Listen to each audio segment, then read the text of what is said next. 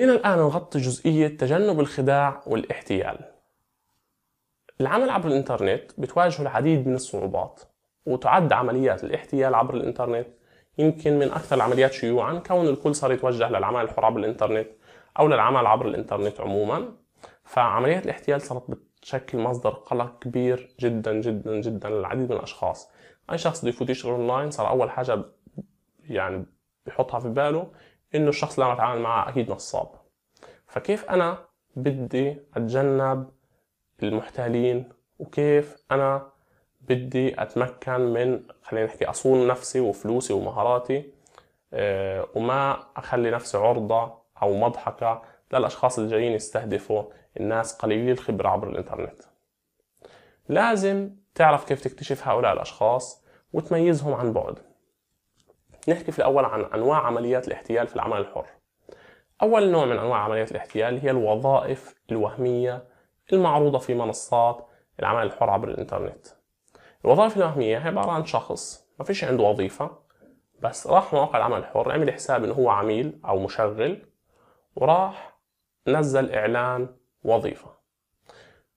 هذا الإعلان بيكون لوظيفة وهمية الهدف منها إنك تفوت تنقر على إعلاناته أو الهدف منها إنه يضحك على العالم. الشغلة الثانية اللي هي الخدع المتعلقة بالشراء والدفع.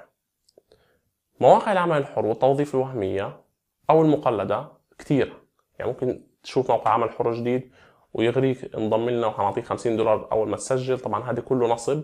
ما تشتغل إلا على المواقع الموثوقة. بالإضافة لهيك في عمليات سرقة وانتحال هوية. ممكن تشوف شخص ثاني عامل حساب مواقع العمل الحر باسمك وصورتك وبياناتك الشخصية.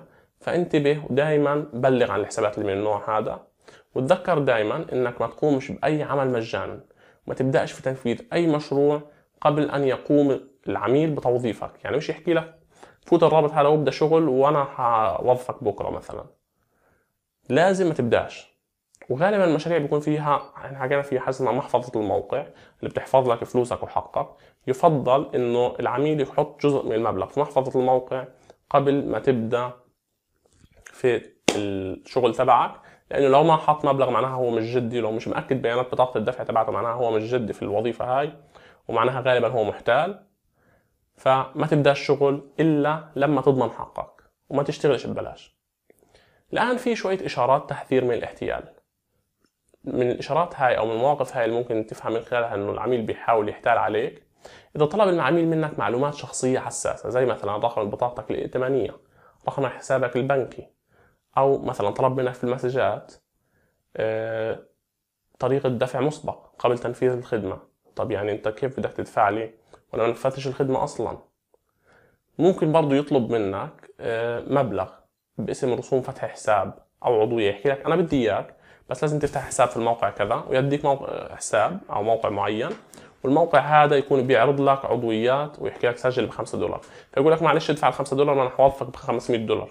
يحاول يغريك. هذا نصب طبعا. ما تسجلش ما تحطش بياناتك في أي رابط بيعطيك إياه. إذا ما كانش في أي ردود أو تصنيفات على صفحة العميل هذا مع الأخذ بعين الاعتبار إذا كان العميل جديد. يعني إذا كان العميل قديم وفيش أي ردود في بروفايله وما فيش حد لا ماخذ ولا معطي معاه بدك تشك في موضوعه إذا كان في تقييم سلبي للعميل بدك تفوت صفحة العميل وتشوف التقييمات تبعته. في freelancers زي ما العميل بقيمك أنت بتقيمه. في freelancers بيكونوا تعاملوا مع عملاء نصابين بيكون كاتب في بروفايله مديه نجمه كاتب لك إنه هذا الشخص بيدفعش مثلا.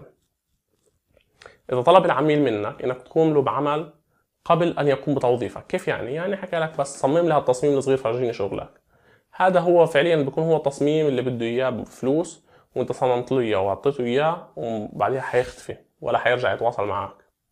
فهيك أنت حياخذ العمل اللي بده إياه ومش حيدفع لك ولا شيء فأنت بتكون ضيعت حقك فما تعطيش أي شيء مجانا. يحكي له لا أعطيني الجوب وبعديها بصمم لك اللي بدك إياه. أما إذا بدك تشوف أعمالي روح شوف معرض الأعمال فيه كل أعمالي وبتشوف من خلالها إنه أنا محترف وإنه أنا قادر أنفذ التصميم اللي أنت بدك إياه.